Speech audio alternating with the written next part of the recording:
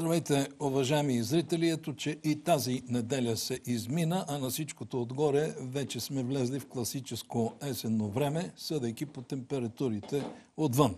Но това, както се казва, не може да оплаши душите наши. Днесната тема е много интересна, след малко ще я изпишем, но преди да премина към нея, ще ми позволите да ви сведа до знанието една информация, свързана с учредяването на Световната академия на бъдещето. Вече ще се казва академия. Твърдо е решено.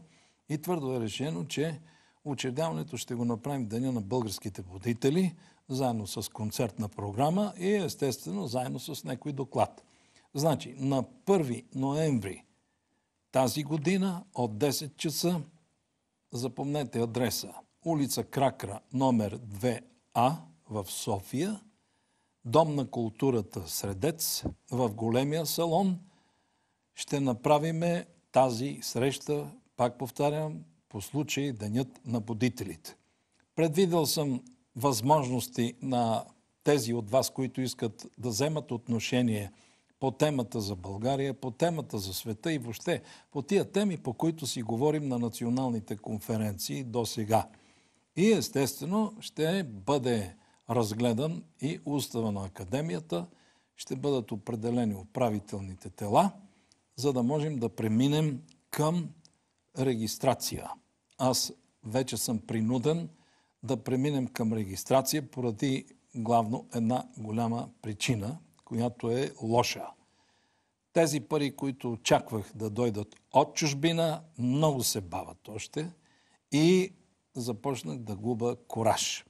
Затова аз ще отправя апел към българите в чужбина по имейли, както там е положено, по адреси, по телефони, за да можем да отпочнем до края на годината или поне в началото на следващата. Защото до сега немалко е направено и ще кажа какво. Вие сте виждали онази уникална постройка, която е направена от български студент по архитектура. Има я в YouTube. Тя в момента се разбива вътре интериорно. Показана е само екстериорно. Интериора се разработва от български архитект в момента. Другото, което е, събрани са над 40 000 тома библиотека. Информа... Богат информационен фонд и над 2000 видеодокументални часа уникална хроника от цял свят. Абсолютно актуална, абсолютно, така да се каже, хвърляща светлина по всички, по всички ъгълчета на нашия живот. Ние с това разполагаме в момента, плюс програмата на тази Световна академия, какво ще се изучава, там ще ви я покажа, плюс екипите, които ще четат лекции, които непрекъснато ще се разнообразяват и естествено плюс контактите, с които разполагаме в чужбина. Защото имаме заявени лектори и то световно известни величини, от световно известни величини да идват при нас в България. Така че запомнете, 1 ноември 2018 година, 10.00, от 10.00 до средно към 19 часа ще се приключи, защото съм предвидил и концертна програма. Просто е така за разведряване накрая, както се полага на един такъв светъл български празник. Значи в общи линии ни чака една творческа работа. Имаме един месец до тогава. Всички вие, уважаеми зрители, които ще дойдете от провинцията, денят е неработен той е обявен за неработен ден, т.е. празничен ден. Не се притеснявайте, можете, трябва да дойдете на собствени средства, защото аз нямам тая възможност до сега. трябва да се плати на архитекта, на адвоката и така натам и така натам. Това са едни подробности, които обременяват. Но те са мой проблем. Работата е там, че най-после, най-после трябва да, да се започне от някъде. Аз достатъчно чаках но не чаках вас. Сега се налага да ускориме темпото, да покажеме зрялост пред тези, които ни наблюдават. Аз знам, че ще ни бъде помогнато да решим въпроса. По отношение на мястото, къде ще се строи, също е направена оговорката. По отношение на интервала от време, който, който ще, от, от, ще бъде необходим да се построи, ние имаме резервен вариант, казвал съм ви го.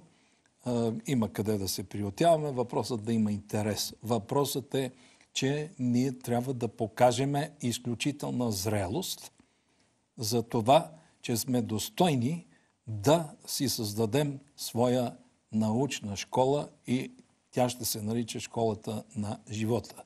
Помежду нас си. Работата е проста, както казват някои, но не е за прости хора. Аз знам, че ние имаме достатъчно духовно извисени лектори, както и обучаващи. Така че в контекста на нещата дано ни се помогне, за да реализираме това велико дело. По тази информация, т.е. по това събитие толкова информация стига. А сега нека да изпишем темата на днешното ми предаване. Да, ще ви направи впечатление, че тя може според бегли представи да не включва, т.е. да не се вписва в тематиката на предаването, но ние сме българи и трябва да да посочим, че сме активни, активно мислещи и по този въпрос.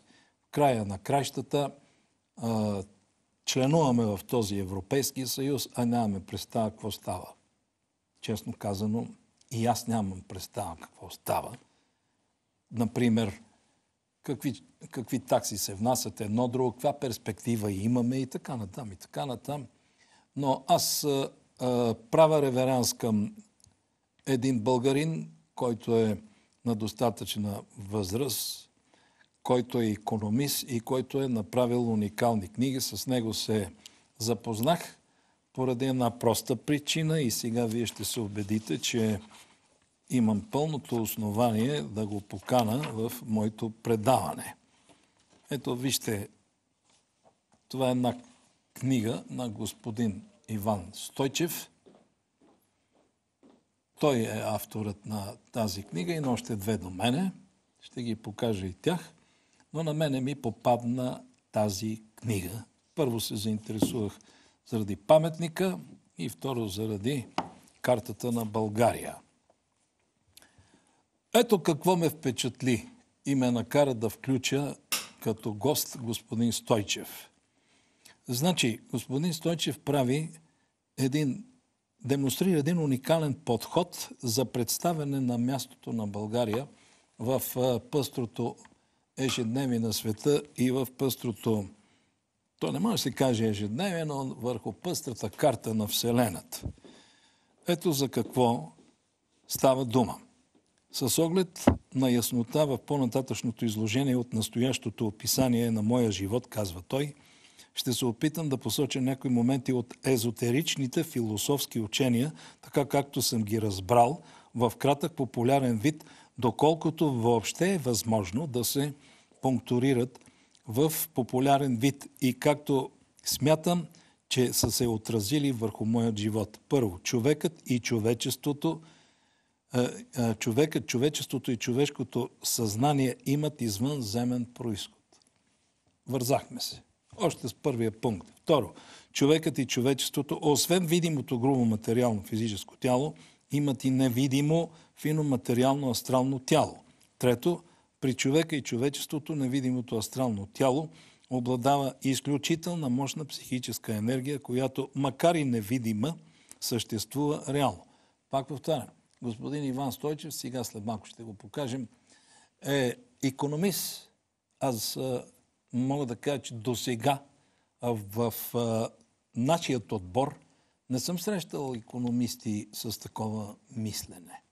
Инженери имаме, дори архитекти имаме с такова мислене, дори лекари напоследък, но виждате, че се появиха, появи един економист. Четвърто, при човека и човечеството след смъртта на видимото физическо тяло, то се напуска от невидимото астрално тяло и същото продължава да съществува в невидимия материал, финоматериален свят. Пето, невидимото астрално тяло може да се инкарнира, прероди отново в видимо физическо тяло на Земята или на друга планета.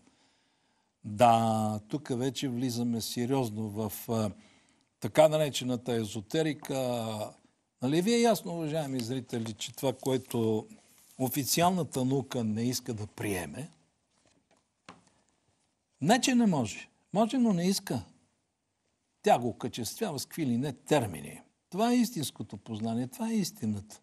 А тази истина се доказва от съвременната квантова физика. Сега, където и да отворите на тия теми в интернет, вие ще срещнете уникална информация. И то с конкретни факти. По всички. Господин Иван Стойчев е отбелязал 12 пункта, които са уникални. И смятам, че това последното, 12-то, Бялото братство, висшите светли сили на космоса, са се притичали на помощ срещу опасности през цялата история на човечеството, наземната история, както и да спасяват отделни хора.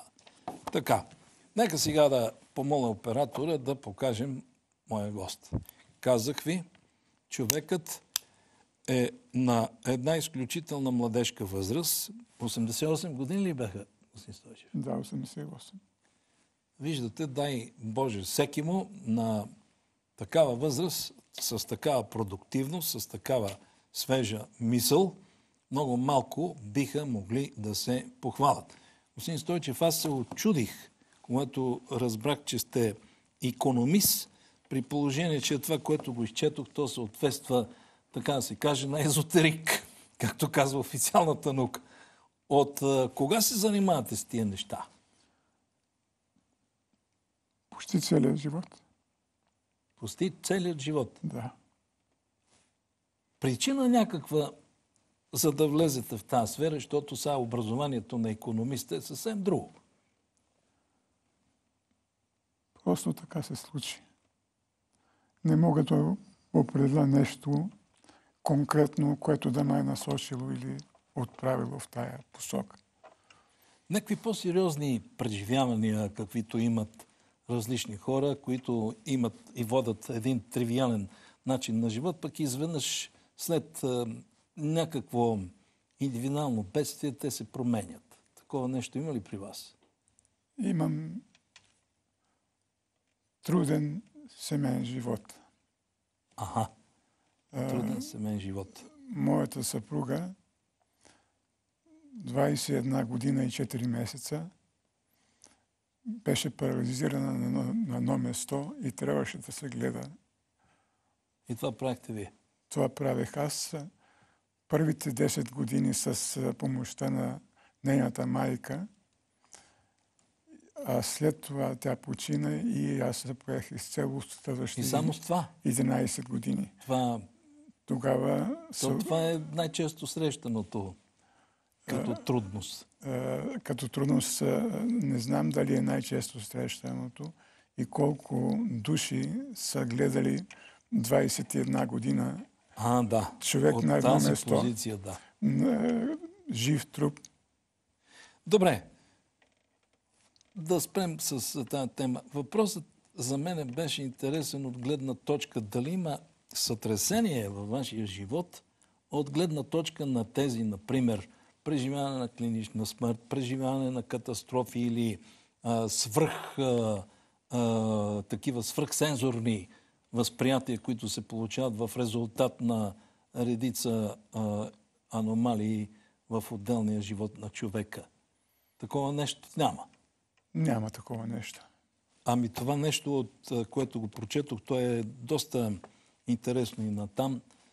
От литература ли сте се ограмотил или? Аз а, през целия си живот съм чал много, много. Похвално. Дай Боже и други хора така. Но в интерес на истината, уважаеми зрители, ето другата книга – да покаже и нея. Вижте, тук се пише от гледна точка на истинския българин патриот. Истинския българин, който е загрижен и който страда за майка България, нямате представа какви задълбочени анализи е направил господин Иван Стойчев, вече не като езотерик, а като економист. И другото, което е, тази книга е уникална с препоръките, които, които, следват, които следват в контекста на самия текст, в изложението на самия текст. Има и още една книга, ето я. България и Европейският съюз. Основно за вас ще бъде интересно това, което господин Стойчев като економист посочва тук. Знаете приказката, когато фактите говорят и боговете мълчат. Освен това, господин Стойчев е роден 1931 година. Къде? В а, Стара планина. Балканджия. Балканджия. Чудесно. И аз съм Балканджия.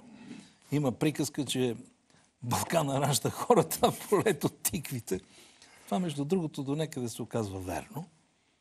Та, въпросът за патриотизма или въпросът за болката, която изживяват хората, които, които са стари духове, които са дошли тук с надеждата, че ще живеят в едно общество и в една държава, която може да им даде перспектива на развитие. Това е един път. Второ, възможности за изява на потенциалите си. И трето, която ще им се отблагодари в края на краищата за това, което отделният човек прави за собствената си родина, за собствената си държава, за собствения си народ. Ови, вие много добре знаете, уважаеми зрители, че днешните поколения, които останахме тук в България, които имаме представа какъв живот се живееше преди време, каква беше България тогава, какво стана сега и какво може да стане утре. Значи трезво мислещите българи днес по тези пунктове много добре мислим. Аз съм изнесъл и продължавам да изнасям много лекции, обикалям много добре, знаете това. България, навсякъде съм посрещнат и съм и много благодарен и с по-малки градчета, и с по-голями градове. Много топло, много сърдечно. И когато се опре... А винаги се опира до тези теми. Винаги. Мога да говоря за суперкосмически неща. Ако щете за Галактическата федерация, ако щете за рептилия, винаги в края на краищата се опира, т.е. връщаме се тук на Земята, тук и сега, в България, и винаги се задава въпроса. Най-важният въпрос. Господин Стаменов, ние сме опрели в безнадежност. Особено хората над 50-60 годишна възраст. Ние не виждаме светлина в тунела. Първо кажете ни, такава ще има ли? Второ, какво ще стане с България утре? Имате ли информация спусната с висше? И трето, ще ли в края на краищата да изживеем онази трансформация, която ни се полага да изживеем?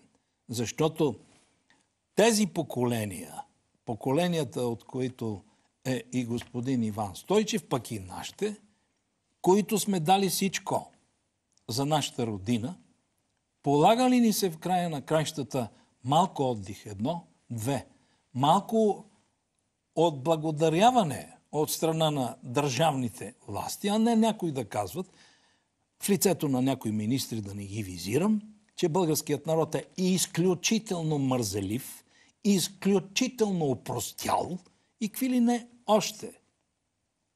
Тия, аз не знам, когато ги плещат с празните си глави такива работи, да, ти си сметка всъщност, че правят жестоко престъпление спрямо собствения си народ. Отговорите на тия въпроси аз не мога да ги дам еднозначно. И винаги си захапвам долната устна. Да, имаше един такъв мадрец, който си захапал долната устна, когато го запитали какво ще стане по-натам. За съжаление, Тук вече говорят фактите. Тук господин Стойчев се е постарал в таблици да покаже ситуацията, в която се намираме и в която живеем. Когато господин Стойчев отвън ми поясни някои неща, на мене ми се стъжни, защото когато фактите говорят и боговете мълчат, а когато фактите с цифри говорят като статистика, това е още по-покъртително, уважаеми зрители. Господин Стойчев, да стигнем до положението, онази таблица, която разглеждахме преди да, да влезнем в студиото. Айде сега да споделиш с а, нашите зрители какво всъщност е станало с нашата държава и с нашето общество. Да, ето я.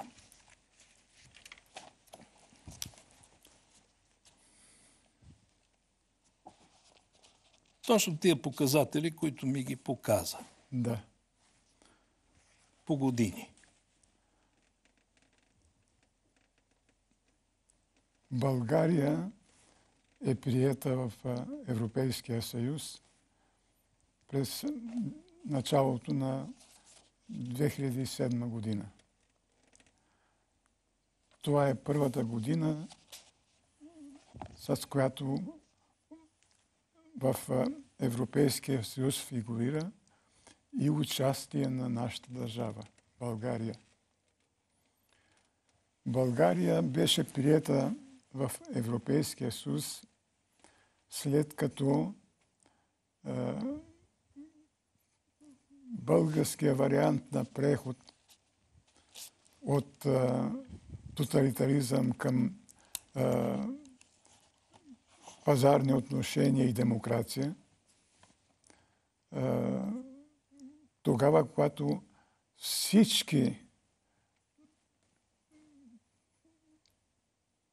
производствени мощности, индустриални и селско-стопански, бяха унищожени. В какъв смисъл? Ние си ги унищожихме. Бяха унищожени от българския вариант на преход към демокрация и пазарни отношения. Ние, българите, го направихме. И го направихме така, както никой друг не го е направил в света. Направихме го изцяло да изчезне нашата възможност за производство на брутен вътрешен продукт, което е основното богатство и по това се цени е, приноса на всяка държава. Какъв брутен вътрешен продукт те е, внасят е, в общата потен, общия потенциал, общата сила на Европейския съюз. Добре. 2007 година цифрите говорят 32 449. Това милиарди ли са? Това са милиарди. Сега. Това е за 2007 година, когато са ни приели. Да. Ако тръгнем насам... Сега, момент. Искам да кажа, това не са мои таблици. Това са отчетите, статистическите отчети за дейността на Европейския съюз на всички държави от Европейския съюз по всички години. И за пример да посочиме. Белгия. Да. Аз ще го кажа. 344 713 милиарда. Да. Не. Е, Белгия за 2007 година 344 милиарда 713 милиона на евро брутен вътрешен продукт за тая година. В 2006 година, след 10 години, тя достига до 423 милиарда 048 милиона. България, понеже веднага след Белгия, поради това, че и двете започват буква Б, има само 32 милиарда 449 милиона. Тоест, България е, има по-малко от 10%. А Белгия е по-малка от България. Белгия е много по-малка от България и не там е местото на България.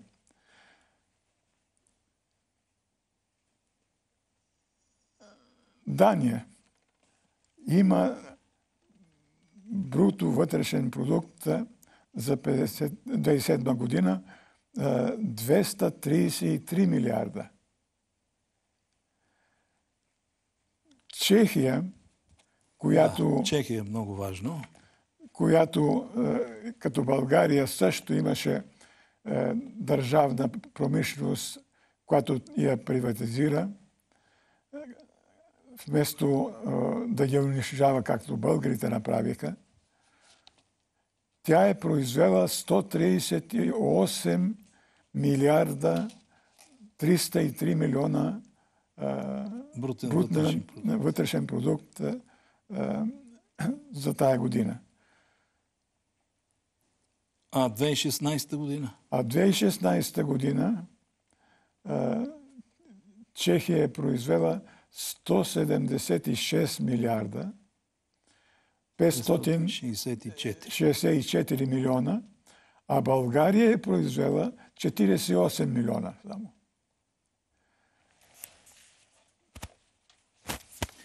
Добре, тези цифри, като ги гледам, те са пократителни, защото държавите тук са изброени както трябва по азбучен ред. Техните резултати са потрясащи, те са за нас космически. Аз си питам, господин Стойчев, как така стана, че ние от а, държава с развита инфраструктура, економика, селско стопанство, настроечни фактори, образование, медицина, какво ли не още, ние паднахме до такова ниво, което дори боговете сега да слезнат тук не биха могли да ни помогнат, ако още се решат. Аз ще отговоря на този въпрос, но малко по-късно. Добре, разбира се. Сега искам да довърша тук въпроса с Чехия, отношението Чехия-България.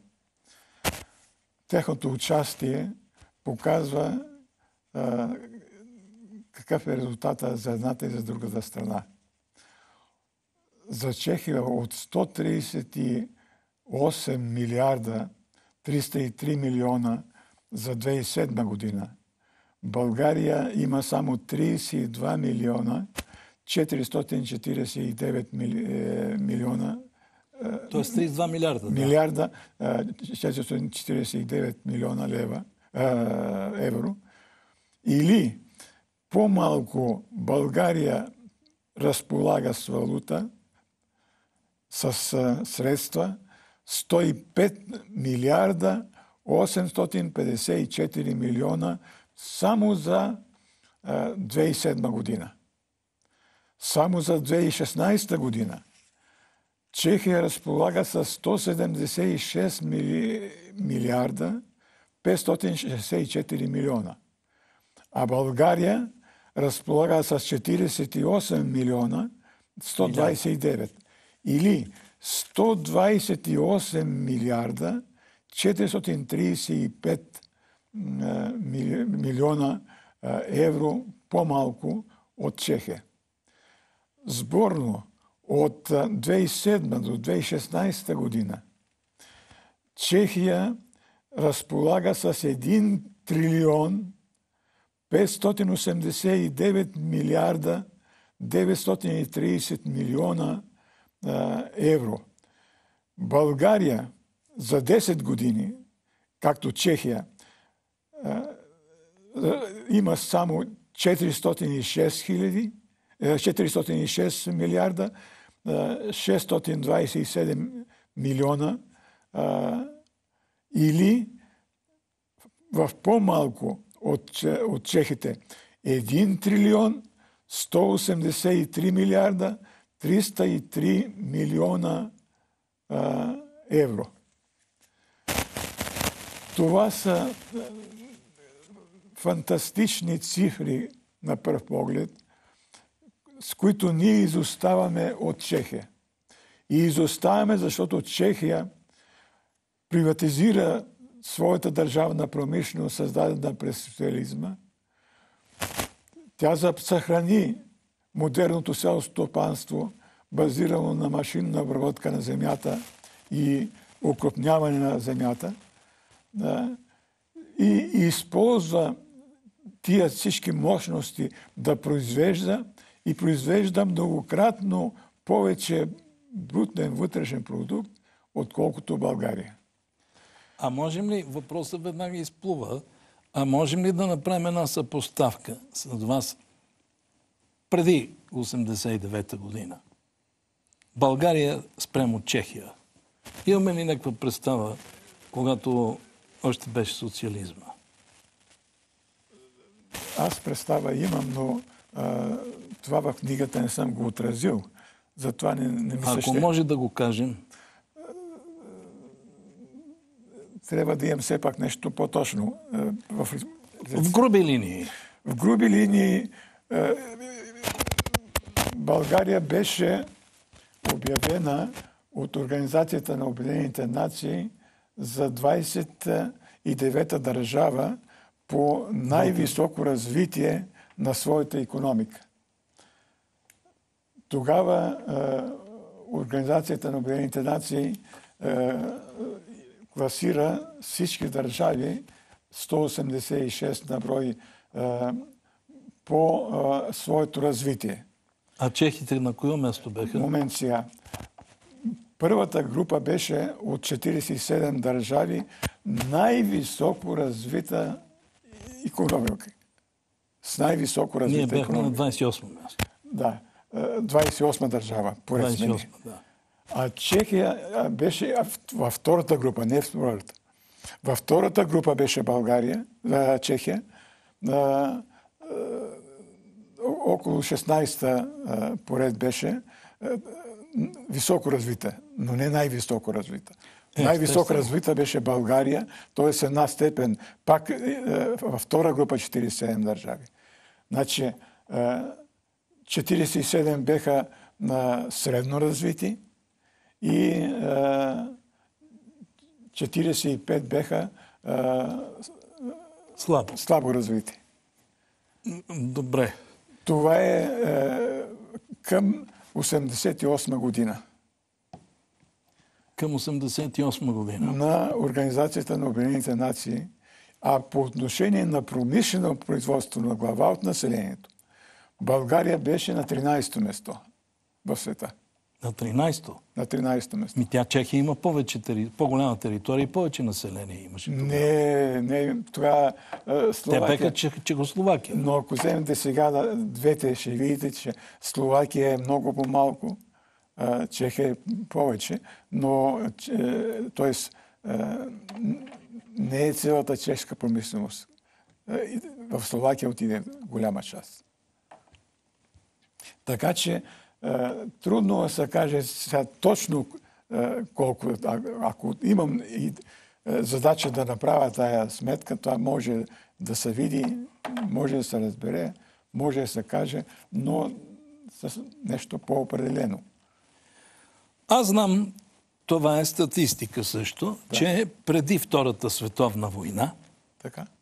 Чехия, тя не беше тогава Чехословакия, а Чехия, стоеше на второ място по промишлено производство след фашистска Германия в Европа. Това беше в друго време. Да, да е в друго време. Сега какво, да, ка- какво искам да кажа? Само за изключителен кратък период от време, ние българите скачаме. Невероятно. Нали така? Ние скачаме. Става ние просто в интервала след Втората световна до 89-та година. Да, Така, нали? да, да. А след 89-та година ние скачаме пропаста. Благодарение на какво? тук вече ще отговорим, ще на това. А, Чехия е по-назад от България, общо взето, оценено сега. А, България с това, което ние казахме, че а, статистиката показва, че промишлена сме 103 пъти повече от а, 39-та година. 103 пъти повече. 103 пъти повече е по, по, повече е продукцията да. на българската индустрия през а, този период до а, 89-та година. Значи, през 89-та година към 39-та година ние имаме 103 пъти повече промишлена продукция. Това чехите го нямат. Такъв скок чехите нямат.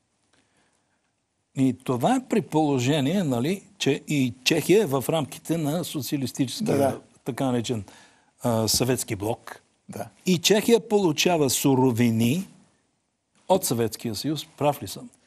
Както и ние. И ние. И, ние, ние получавахме. Така. И въпреки всичко, ние скачаме нагоре.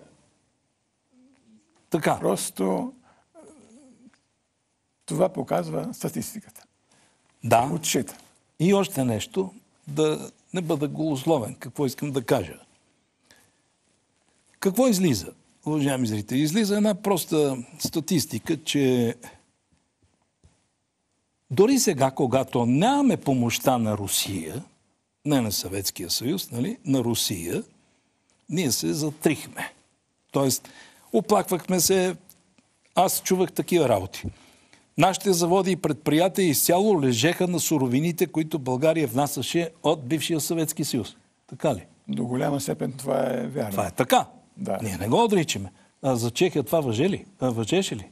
Въжеше, разбира се. За всички източноевропейски страни в съветския блок. Да. Така ли? Така е. Днеска Чехия има затворено кранче от страна на Русия по тия суровини. Тук с санкции там има връзка някакво. А иначе Русия не е затворила кранчето за Чехия. Неправилно ще бъде да сметаме, че тя е затворила кранчето. А за нас? Също и за нас. Не е затворено кранчето. Не е затворено кранчето, разбира се. Ние получаваме ние... ли всъщност нещо Чакай. от Русия сега? А, ние сами си затворихме кранчето. А, е, това исках да чуя. Значи, е, демокрацията започна 90-та година. Да, 90-та, 90-та година а, демокрацията е изнесла за 26 милиарда а, долара продукция, произведена в България а, с суровини от Съветски съюз главно. Нали? И това беше последното. 26 милиарда а, Значи, ако добре ви разбирам... Реализира 90-та година демокрацията. Да. А 91 година реализира 4 милиарда. Отказа се от а, а, а същата пазара, съпоставка... от пазара с Съветския да. съюз. А същата съпоставка с Чехия може ли се направи? За същия интервал от време? Не, там те са били винаги по-прагматични от нас. Те ги наричат средноевропейските евреи. Чехите винаги са били по-прагматични Ние... и по-тактични от Ние, нас. Ние, например, на времето имахме развита изчителна техника. Да, така беше. И компютърна техника, да. Компютърна техника. И е, построихме един завод в Хавана, Куба. Така. И за, за резервни части, който да дава да, да захранват нашата е, компютърна индустрия. Така. Точно завършихме завода, станаха промените и ние казахме, ние излизаме от Куба и не щем повече да има отношение с тях. В това време чехите беха там, разговарях с чешкия търговски представител и той вика, ние смятаме да увеличим състава си в Чехия. В Куба? В Куба. в Куба. Състава се в Куба, сметаме да го увеличим. И вероятно са го увеличили. Те винаги са били практични, винаги са извличали всичко, което могат, максимално което могат и откъдето могат. Добре, да констатирахме, нали, до тук, да. да направим първо заключение, че чехите са много по-умни и по-прагматични. Добре, а да вземем и Унгария от Вишеградската четворка. И При тя... унгарците как стоят нещата? Също. Също. Също положение. Добре, а с а, Словакия? Словакия, тя е доста по... Тя и, и, когато беше в Чехия, пак си беше по-назад. И сега е малко по-назад. Малко? Малко. Не малко. катастрофално като нас. А, с 700 а, милиарда, момент да, да не бъркам.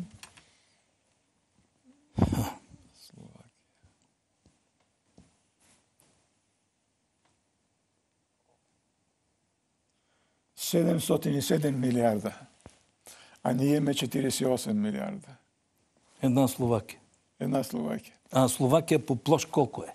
Словакия е по-малка от България. По-малка от е България. По-малка от България. И Чехия е по-малко от България. Да. Но... Интересно. Да. Тази статистика, господин Стойчев, знаете ли какво ме навежда? На какво? Че Хенри Кинсинджер, един от бащите на световният елит, се оказва абсолютно прав. През 80-те години аз в една книга, анализ на Хенри Кисинджер, чета следното. А онези там, той сигурно има прави точно нас, българите, оставете ги. Те нямат нужда от врагове. Оставете ги те сами. Значи тук нито влезна чужда армия, нито имахме бедствия, слава Богу, че от Бога сме добре, нито имахме катаклизми, нито имахме всеки такива обективни фактори, които водят до разрушения, такива, каквито са у нас. Ми ние, аз имам чувство, че ние сме изживяли вече Третата световна война. Благодарение на онези, които вместо мозък главите си и сърце в гърдите си им носят трансплутониев елемент. Да. Това е най-опасният ядрен елемент. Ми то така излиза. А, така показва резултат. Ние си разрушихме потенциала. Сами без има. никой да ни пречи. Нали? Никой да ни кара, никой да ни дава акъл. Ние давахме акъл на, на другите. Да разрушават, само че те не ни последваха. И никой не разруши. Само ние си останахме с нашето разрушение. Интересно. Да. Ми ние заслужаваме ли да имаме държава? Това въпрос веднага изплува отгоре. А, вижте... А... Защото ние сме наблюдавани. България, освен, че сама си докара всичко, цялото бедствие сама си го докара, тя изтрапява и едно кърмично наказание. Да през целия живот до сега на българската история, българската история, всеко отиващо си поколение, да. Е, каквото е създало, за да произвежда, за да създава нещо, за да съществува, нали, е, го предаваше безвъзмезно на, на следващото поколение в наследство. Безвъзмезно. И нашето поколение – безвъзмезно подари, даде в наследство на демокрацията нашите възможности за производство, промишлени и собстопански. И... А, да. И ние, които наследихме, т.е. приехме щафетата от вас? Демокрацията, която наследи, унищожи това богатство. За това унищожение, за прекъсване на това, на това наследственост на поколенията, от едно поколение на друго. Всеко поколение отиваше си даваше на следващото, а следващото с благодарност го приемаше и работеше по-натика и го развиваше допълнително, какво може да увеличава, да подобрява и така нататък. Да. Сега това се прекъсна и заради това, това прекъсване на това предаване на поколенията безвъзмезно, възможности за производство, за съществуване, за живот, България да. кармично е наказана а, да живее в а, вечно в, Та без, ситуация. в, в без, бедствено положение. Добре, да. Аз, Мизерия, бедност. Господин Стойчев, аз също се занимавам с а, законите на причината и следствието, т.е. законите на кармата. Но за мен остава висящо положението. Как можа България в един отрязък от време, нали, на 20 век, да покаже такива резултати, ние да жи- заживеем човешки, да имаме физиономия и уважение спрямо другите народи, нали? а изведнъж пак влизаме в карма. Как? Тогава не, нямаше ли карма? момент сега е, България двойно е наказана с карма. Е, Това беше един път, а, че е, прекъсна наследството между поколенията да се предава възможности за производство, създадено от ново- предното поколение на следващото. А, господин Стойчев, не съм съгласен с вас. То, Не съм съгласен. Защото излиза така, че ние оправдаваме себе си. Тоест, тези, които нанесоха съкрушителен термоядрен удар по основните устои на държавата ни, казал никъде. аз го казвам, аз. Не, Аз го казвам. Управляващите след, повтарям се, след 89-та година нанесоха съкрушителен термоядрен удар по основните устои на държавата. Обезпредметиха и обезмислиха живота на редица поколения бъдещи българи. Нали съм ясен? И ние сега ще вземем да ги аз оправдаем нищо по... друго не съм казал. Аз го казвам, аз а, продължавам. Така. Но за второто а, кармично наказание искам да кажа, че в а,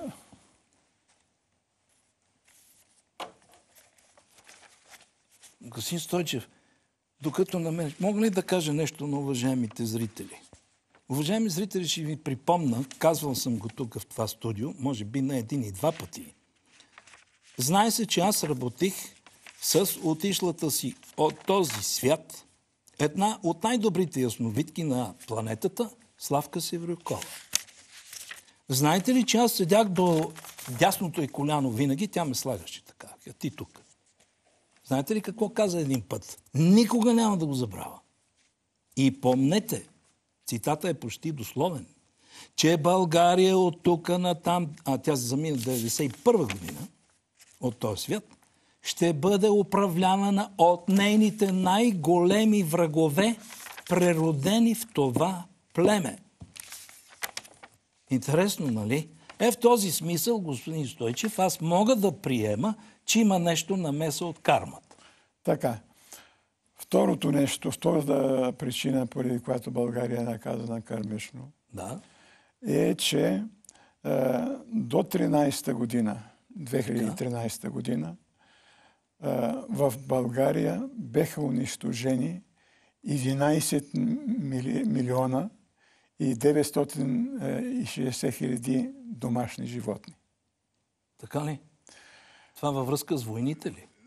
Това във връзка с а, ликвидирането на ТКДС-тата. И 13-та година. 13-2013 година, А, 2013. 2013 година, до 2013, от, от 90-та година до 2013 година са унищожени 11 милиона и 900 и толкова а, домашни животни. И са унищожени 28 милиона а, и 500 и нещо а, Хиляди. хиляди домашни птици. Унищожени са общо 40 милиона живота, 40 милиона и 950 а, а, милиона животи ненужно, ненужно, Излишно. невинни. Свръх. Не, да. Защото за да се разпредели, а, понеже ликвидират ТКДС-тата, за да се разпредели това а, той не, не бил разбирал, че трябва да се заколе едно животно, за да се раздели на части. Значи и това се включва в И това, това кръвопролитие, такова кръвопролитие от българи, нанесено е, Върху върху животните и птиците в България. Тия 48 ми- милиона а, ж- невинни живота, кармата си Върви. върви. Добре. Ми то тогава излиза, то между другото и е така, уважаеми зрители. Ами за унищожените гори. Каква варварска сеч продължава и до ден днешен? Ами за плодородни поля. За това също се носи отговорност. За всичко се носи отговорност пред висшия фактор. За това, че нашата земя преди е, демокрацията, цялата ни земя беше разработена като градина. България беше райска градина. Аз пътувах е, е, 89-та година, е, есента беше, с един арабин в една кола пътувахме из цяла България. И като вървехме, разговаряхме по това, като виждаме как- е разработена, Да. как и каквото и накрая той казва. Тази земя е благословена. Да, свише. Аз а, не, а, не съм знаел до сега, че тя е благословена земя. Такава е Калифорния в Штатите. Да. Но Калифорния всички знаят, че е благословена земя. Добре, господин Стойчев, и аз съм бил там, там си живял също в Калифорния става въпрос. А, какво излиза като прибавим и там? Между другото, аз по този показател унищожение на животни и природа не съм го включвал така, съм го минал by the way, както Да. Казват англичаните. Това е богатство. Ама Това, това, е е, богатство. то е богатство, то е Дадено за благоденствие на за хората, благоденствие на а хората. не за унищожение. И за това е наказана България. Да, ама това няма да е за година-две. Няма да е за, нито за година-две, нито е, ще бъде само за един българин, ще бъде за всички българи. Точно така. Защото допуснаха Когато с висше се българи да наказва... направят такова нещо. А, така. Аз съм го казал като анекдот, но то се оказа истина. В Нью Йорк Таймс чета следната обява на Джордж Буш младши. 2007 година. Гласи. Заменям 30 свръхмогъщи ракети, балистически ракети клас МХ, това беха най-могъщите на американците, срещу само трима източноевропейски, в скоби, строго за предпочитане български управници или политици със същата разрушителна мощ. Това е, се го кажа прав. това разбира се е шега. Никак не е шега. Ето, статистиката ме подкрепя. Да. А, Боже Господи! А, Боже Господи! Горките ни поколения! Горките ни поколения! Господин Стойчев, като економист, нали, вече отрезвени, питам. Ние някакъв шанс за живот имаме ли въобще? Ние сме в ситуация, при която не можем да се съвземем. И надеждите, че Европейския съюз ще ни помогне да се възстановим, Така? са на празни. На празни. На празни. Отразил ли си го тук? Тия До книги. голяма степен е отразено, е, но може да се каже следното във връзка с това. Значи,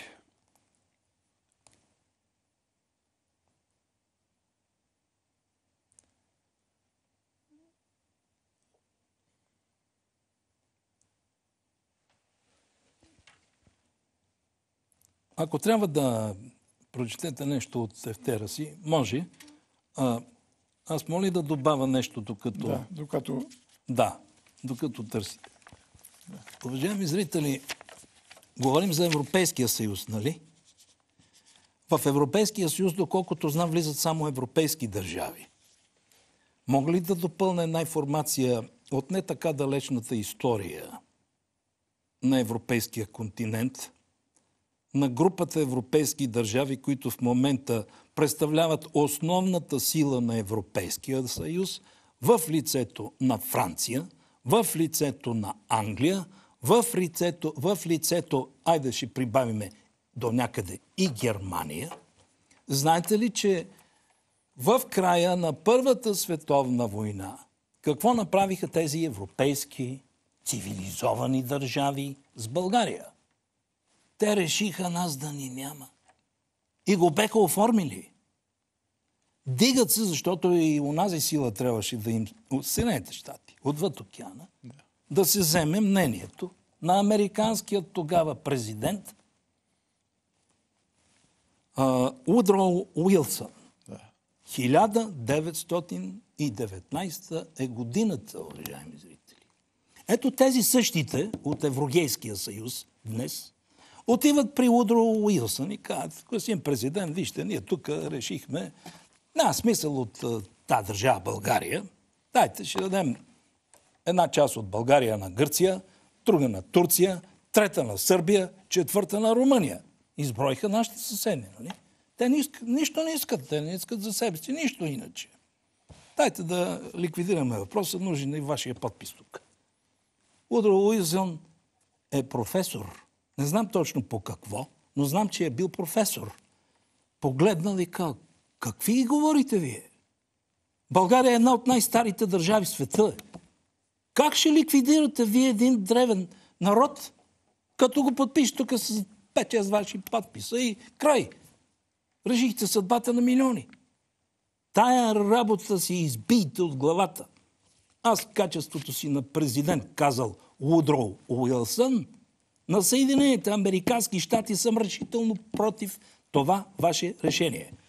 Та искам да кажа, господин Стойчев, да не би тия днеска да са решили тихо, мълком, подмолно, префинено и зашеметяващо, лека по лека да не ликвидират. Защото процесът върви на там, уважаеми зрители. Ние се топим. Ние просто изчезваме с шеметно темпо, говоря демографски. Економически вече сме стопени. Селско-стопански ни няма. Е, остава само демографски и другото, което остава, да решат въпроса пак така. Това парче на тези, това на онези, другото на другите.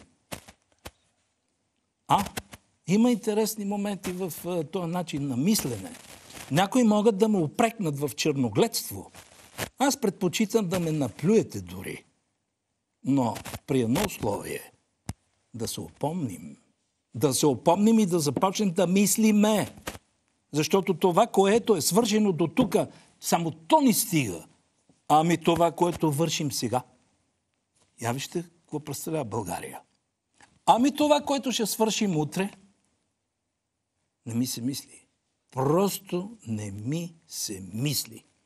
И ако някой от вас ме опрекнете, че аз нарушавам темата и тематиката на предаването си, моля, моля, аз се намирам в студиото на Национална патриотична телевизия, СКАТ.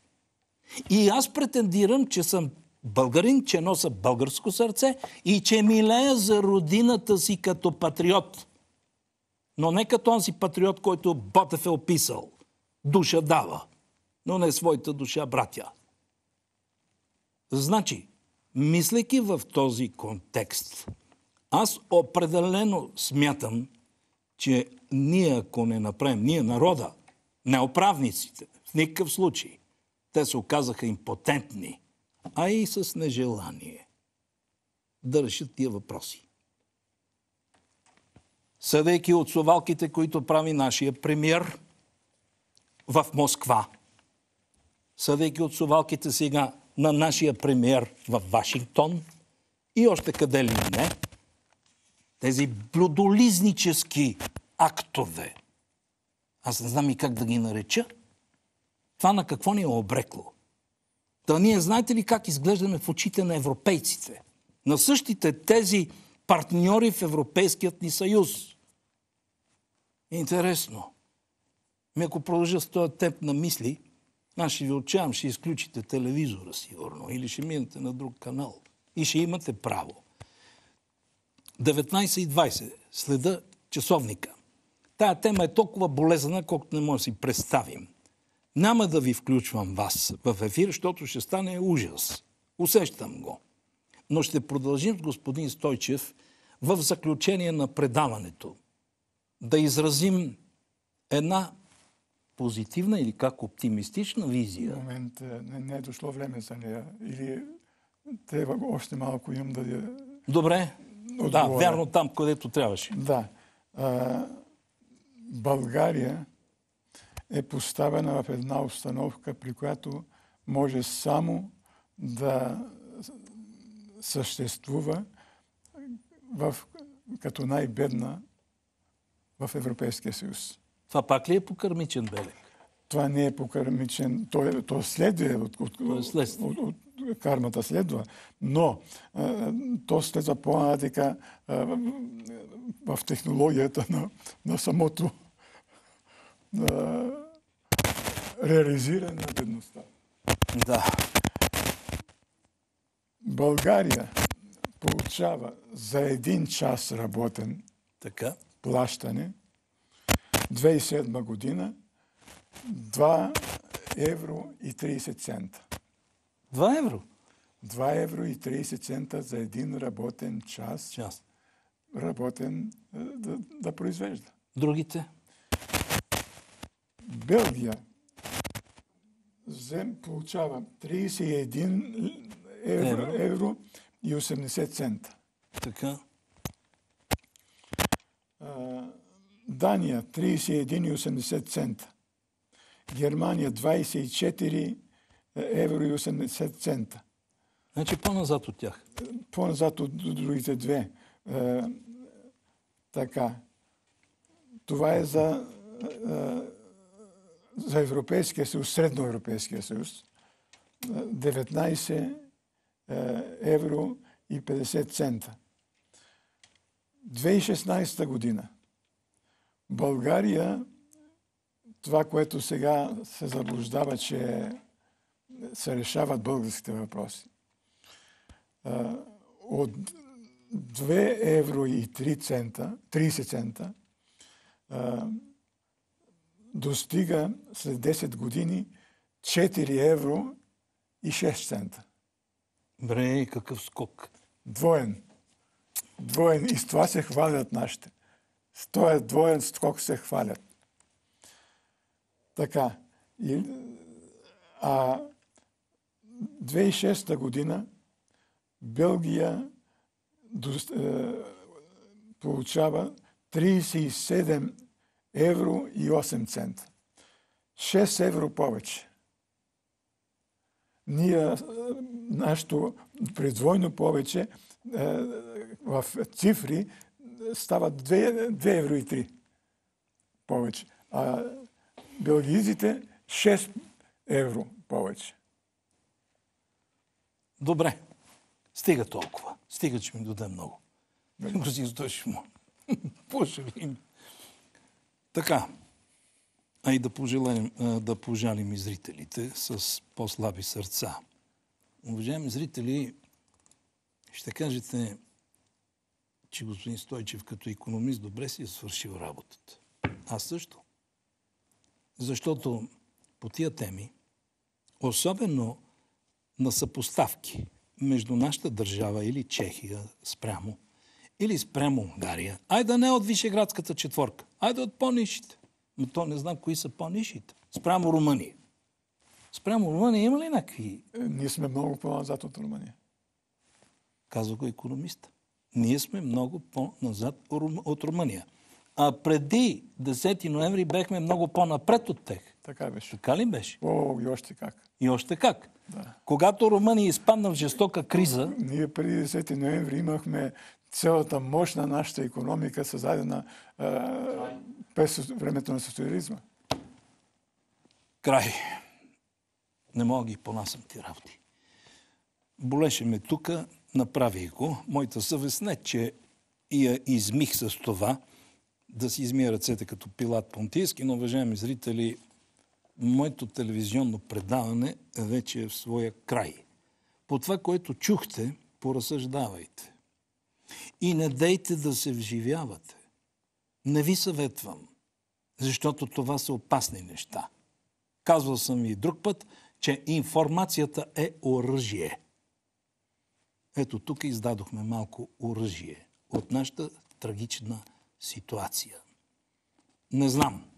Дано пресветлият свети Архангел Михаил пази България, както, го е, както е пазил до сега. Живи и здрави!